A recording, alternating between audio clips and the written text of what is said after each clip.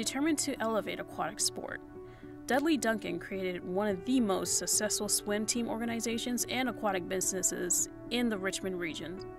He is a model for opportunity, perseverance, and determination. At a young age, Dudley's mother was adamant on building a home near a neighborhood pool to ensure that he had a place to swim. They purchased a house near Stony Brook Country Club. The summer he turned 16, Dudley took a job as a lifeguard working seven days a week, making $1.25 an hour. In 1968, two years in college, he enlisted into the Air Force.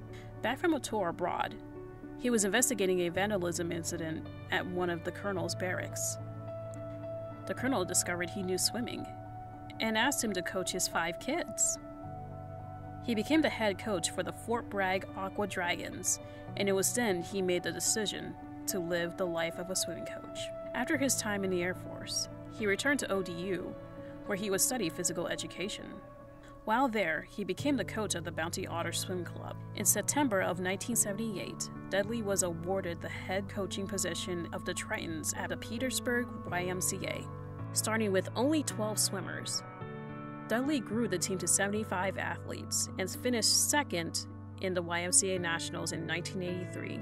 Determined to elevate the consciousness of swimmers to the national levels of USA swimming, the Tritons shifted away from the YMCA system and became known as VAX.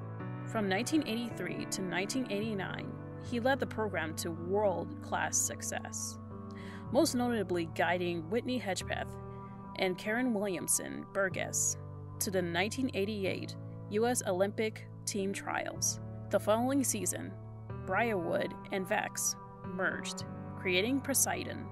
In 1991, the team had a significant presence at the national level. In 1996, Poseidon placed sixth at the USA Swimming National Championship, and Hedgepeth won silver at the Olympic Games in Atlanta, Georgia.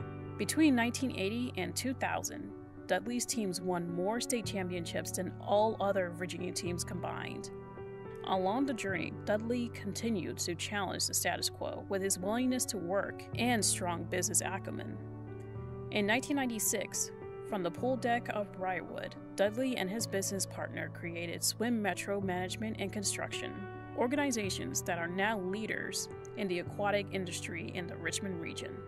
In 2003, Dudley formed Quest Swimming and became the owner of his own aquatics facility.